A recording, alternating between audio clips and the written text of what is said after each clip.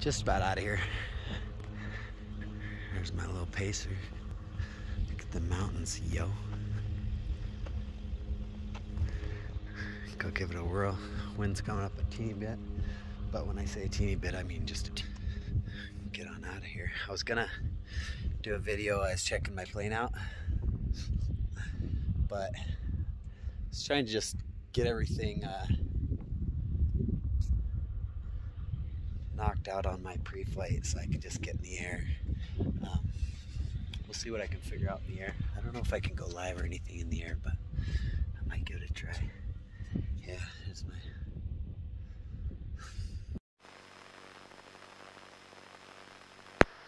Johnson County traffic, Tri-Pacer 1823 Papa, take taken runway 13, Johnson County traffic.